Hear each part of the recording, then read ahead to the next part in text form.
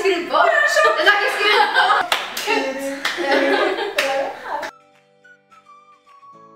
Hallo!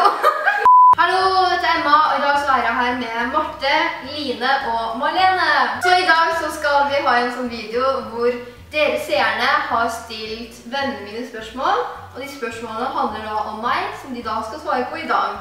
Er Emma noen gang barnslig? Ja. Eh, nei, ikke noen gang. Hele tiden. Det er bare bullshit. Jeg er helt klart den mest modne her.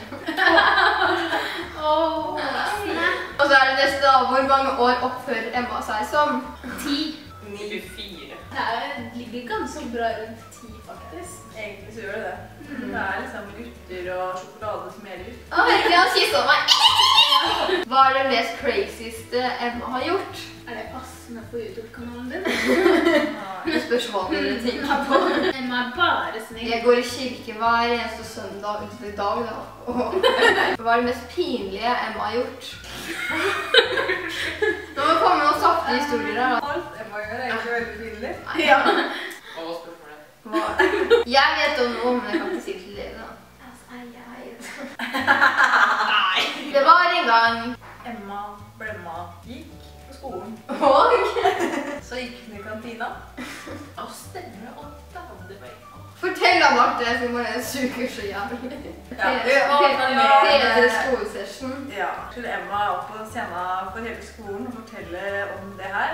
At vi måtte stemme på oss selv eller noe annet. Og så sier Emma 'La oss eie Eid'. Og så sitter der Emma ja.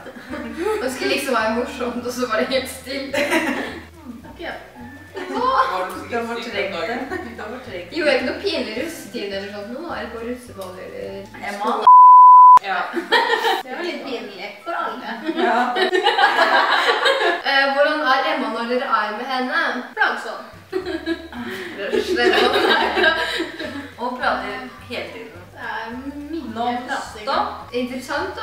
Hvis dere legger merke til når hun klippa de greiene her til og med, så er det hun som garantert snakker mest.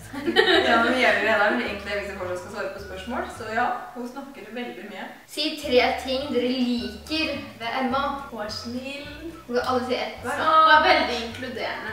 og så gir hun veldig fine bursdagsgaver. Har jeg ikke så veldig bra fester, da? Jeg er en som har fester, da, liksom. Oh my god. Ok, Er Emma flink på skolen? Ja, hun var veldig flink på skolen. Hun var det. God karakter. Hva hadde Emma i snitt? Det vet jeg. Nei, det er ikke så ærlig. Sånn snakker ikke vi om. Var var det seks eh, blank, tro? Er Emma rotete? Ja. Ja. Hun legger til seg akkurat det det passer for henne, akkurat det det passer for henne. Hun tar det ikke opp igjen. Hvordan er Emma når hun er sint? Hun begynner bare å le. Hun er ikke egentlig så veldig ofte sint. Nei. Eh, blir Emma fort full? Ja. Ja. Ja. Hun shotter litt mye. Litt. Promper Emma mye? Nei. Ikke mye jeg har lagt merke til, da. Hva er det dummeste Emma har sagt? La oss eie Eid. Blir Emma fort hyper? Ja. Ja. Jo. Hva var det for noe svart? Du kan egentlig bare si ordet godteri. Er det dumt at Emma bor i Danmark? Nei. Det går egentlig veldig Nei, men bra. altså, det går jo fint. Vi snakker jo sammen. eh, Ja. Ikke vi, Emma, snakker sammen. snakker med oss på Emma Facebook. lager grupper. Og, Og så får det komme en spiller party! ja, og da Skype, da. Eller meg. Jeg skal med Marlene og Henrik i boksen. Eh, tre uvaner til Emma.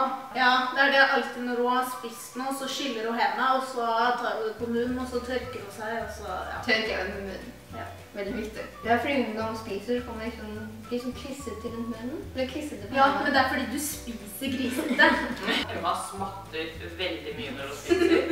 Det er ikke noe på. Og så sier du hele tiden Vil du være med på bloggbildet? Jeg blogger jo ikke lenger. Det beste Emma vet å spise. Godteri? Sjokolade? Iskrem, pannekaker.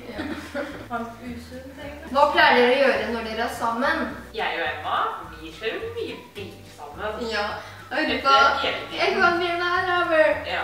Og da sender jeg meg Nei. Jeg må sender jeg alltid snap til deg, så da du kjøre. Du bare, «Å, Nei, orker ikke.